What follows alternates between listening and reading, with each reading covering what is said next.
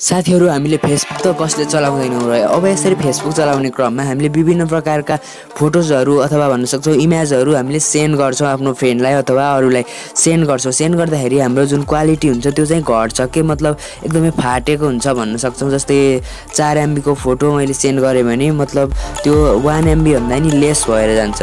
अब यसलाई चाहिँ हामीले ठिक गर्न सकिन्छ साथीहरू। कसरी सकिन्छ गाह्रो छैन। जस्ट एउटा सेटिङ मात्रै गर्नुपर्छ। त्यो गरेपछि तपाईँको एकदमै ठिक हुन्छ। साथीहरू मैले भिडियोको कुरा गरेको छैन जस्ट फोटोजको।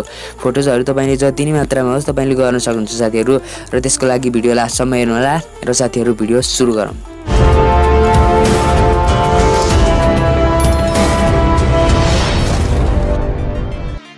साथीहरू हामीले म्यासेन्जरमा अथवा म्यासेन्जरमा फोटोजहरू पठाउँदाखेरि सिम्पली हामी म्यासेन्जरमा जान्छौँ र हामीले कसरी सेन्ड गर्छौँ यसरी ग्यालरीमा जान्छौँ।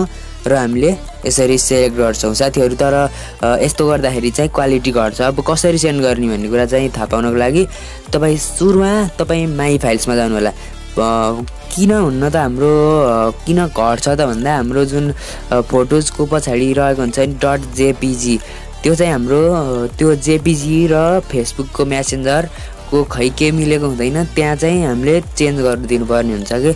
जेपिजीको ठाउँमा पिएनजी एडिट गर्ने हो। त्यति गर्नुपर्छ फर्स्टमा पहिलो स्टेप भनेको त्यही हो। र चाहिँ मैले एउटा फोटोजको जेपिजी चेन्ज गरिदिन्छु।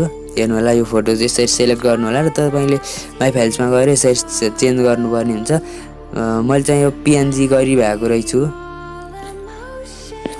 यो चाहिँ पिएनजी गरिरहेको रहेछु मैले। र मैले चाहिँ एउटा फोटोजको मतलब पिएनजी गराउँछु हेर्नु होला। र मैले चाहिँ एउटा यो चाहिँ फोटोजको पिएनजी बनाउँछु हेर्नु होला। यस्तो गरेर रियाममा अठाउनु होला र रियाममा अठाएर प्रायः लगभग सबै जेपिजी हुन्छ। जेपिजी होस् या जेसुकै होस् तपाईँले पिएनजी गराइदिनु होला।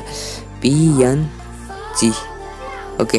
र पिएनजी गराएपछि तपाईँले अब चाहिँ तपाईँको फोटोज पिएनजीमा कन्भर्ट भइसकेको छ। अब तपाईँले जसरी सेलेक्ट गरेर हाल्नुहुन्छ म्यासेन्जरमा पहिलोकै जसरी नै गरेर हाल्न सक्नुहुन्छ तपाईँको फोटोजको क्वालिटी घट्दै घट्दैन साथीहरू।